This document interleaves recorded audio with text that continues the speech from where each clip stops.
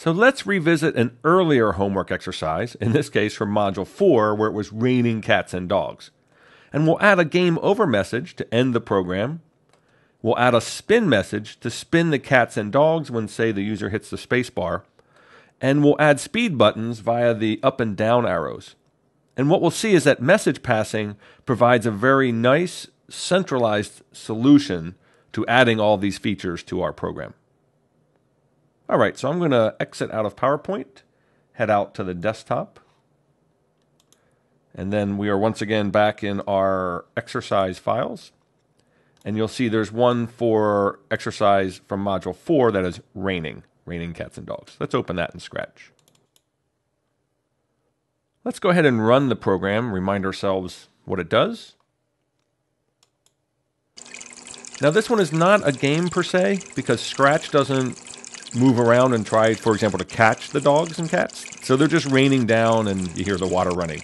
So that's as much of a game as it is.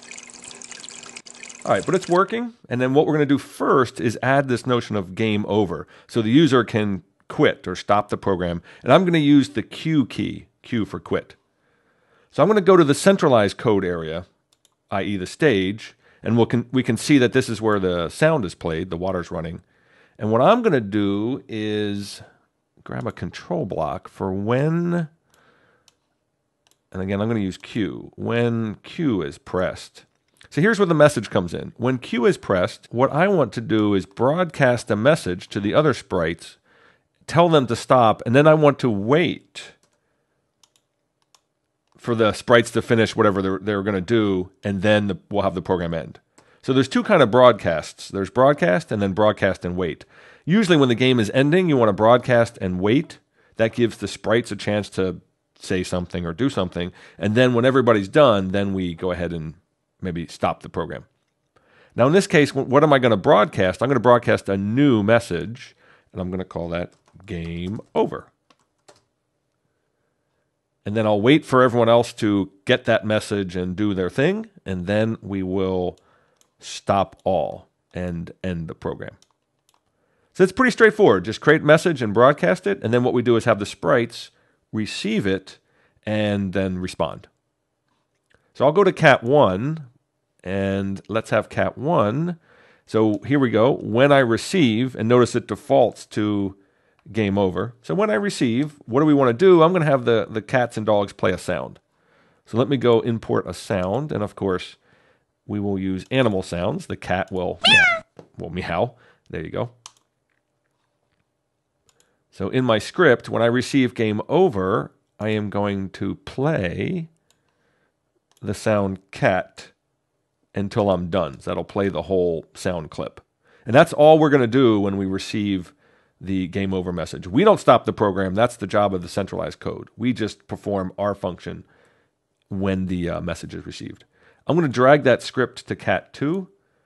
So now cat2 will also play a sound when the message is received. The dogs will do a similar thing, but I'm just going to have them play a dog sound. So when I receive game over, let's have the dogs bark. There we go. Dog one sound. So we'll play that sound when we receive game over and then I will drag that script onto dog 2, so dog 2 will do the same thing. So now I'm done. Now I have a way to stop the game. Let's go ahead and run the flag. So we hear the water running, we have the dogs and cats, and then I'm going to hit Q on the keyboard. And we see the program come to an end with a very nice centralized solution. And the advantage again of that centralized solution is that suppose I want to use a different key, I only change it in one place in the centralized stage area, and I don't have to go and change it for every sprite in the program. Now, when the game ends, it'd be nice to put a little background up there. It says, you know, game over or goodbye or something like that. So we saw that earlier. Let's go ahead and do that. It's a nice, nice thing to do. So let's paint a new background. So I'm going to just say, in a bigger font. Bye.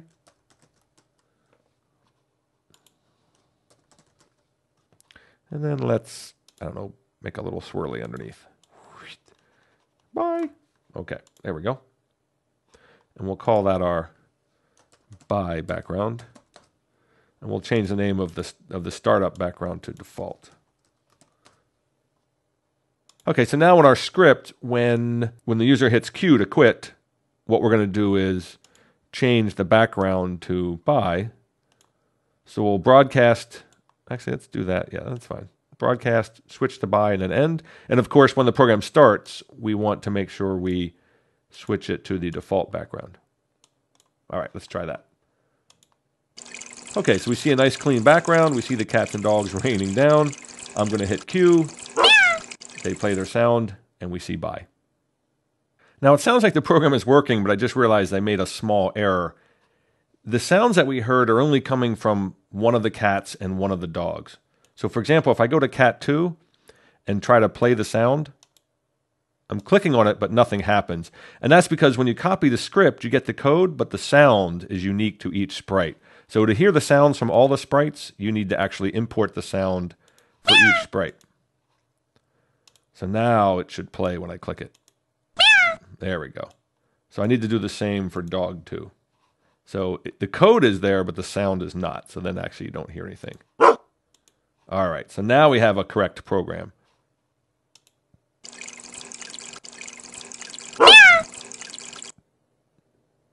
Doesn't sound any different, but at least now I know all the dogs and cats are barking. Okay, so let's uh, look at another feature, and this is having the cats and dogs spin. So just another example of message passing. So in this case, I'm going to go to the stage area, the centralized area, and when the, let's see, I'm going to do spacebar. So when the spacebar is pressed, I'm just going to broadcast a different message. So I'm going to broadcast a new message called spin. Oops. I hit Q. I meant to zoom in. So in this case, we just broadcast. We're just going to tell the sprites to spin. I'm not going to wait because I don't need to do anything after they spin. I'm just going to tell them to spin, and that's all my, my little script block does. Now I'll go to cat 1, and in response to the message, so when I receive the spin message, I'm going to loop and turn. So I will turn 15 degrees clockwise. Now I want to turn a full circle. So 24 times 15 is 360. So 360 degrees will be a full circle. And we can test that just to click on it and see. You'll see uh, cat 1 over there spin. There we go. And I'm going to drag that script onto cat 2. And then I'm actually going to drag that onto dog one, and I'm going to drag that onto dog two. So now all the animals have the script. But just for fun, I'm going to have the dogs turn the other direction, counterclockwise.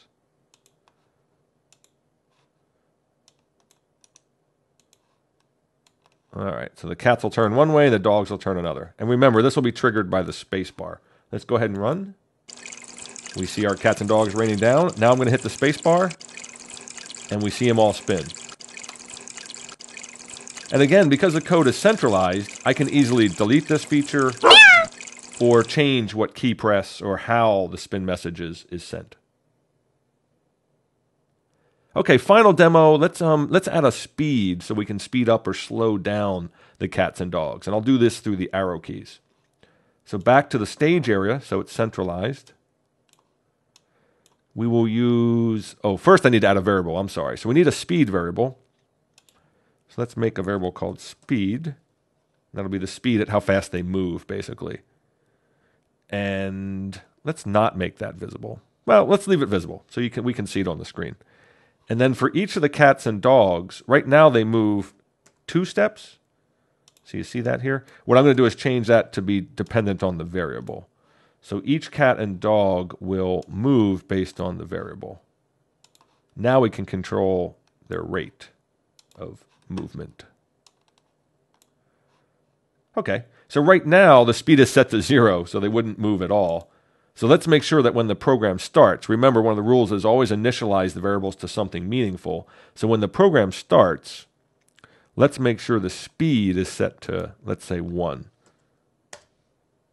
Okay, so at this point, the program should still work fine. Let's make sure. Right, and you see they're moving pretty slow because they're moving at a pace of 1, whereas before it was 2. Okay. Now we just need to add some check for key presses till we can respond to up and down keys and speed up or slow down. So I'll go to the control area and let's see when we're going to do the up arrow. So we'll go faster. So when the up arrow is pressed, I'm going to just change the variable. So change speed by one. And what's nice is we can just run the program and try this. So now they're running, moving it one at a, one step at a time. I'm going to up arrow a few times. You see him moving much faster. And we can spin, of course, with the space bar. Whoa. There's an error there. Oh, see? That's good testing. That one dog went off into the right corner. Uh-oh. I have to investigate that later. All right, let's uh, let's add the down arrow for slow down. So same process. When the key is pressed, but in this case, let's make ourselves some room here. So when the down arrow is pressed, we will. Now, normally, what you'd think to do, we'll have to be a little careful here. Again, this is where testing would reveal a problem. Normally, you'd think, well, when the down arrow is pressed, we just want to slow down. So we change the speed by minus one. But there's something you have to be careful of because you don't want to, you only want to do this if the speed is one or bigger. If the speed is one and then you slow it down to zero, they'll stop. And maybe, I mean, maybe you want that, maybe you don't. But let's watch what happens. See, now they're running slowly. If I down arrow, they stop. So one way to prevent that is what we'll do is we'll add an if statement and we only slow them down if they're still moving. So by that I mean we'll do an if statement and we'll look at what the speed is. So if the speed is greater than 1, then we slow them down. So what I'll do is get a greater than block and grab my variable speed and I'll say I only want to do this if if the speed is greater than 1, then it's okay to slow them down. But if the speed is 1, I don't want them to stop, so I, will stop paying attention to the down arrow key and we'll and we'll the slowest they go is 1. Okay, so now I'm running the program. I'm going to speed them up. Up arrow, up arrow, up arrow. We see the speed is 4. Slow them down to 3. Slow them down to 2. Slow them down to 1. Now I'm going to keep pressing the down arrow, but because of the if statement, we're basically guarding the issue of slowing them down to 0. So they never stop. They just move one step at a time. That's the slowest they go. We speed them up, spin, and quit. All right, that's a fun demo. Let's go back to the PowerPoint and we'll finish up.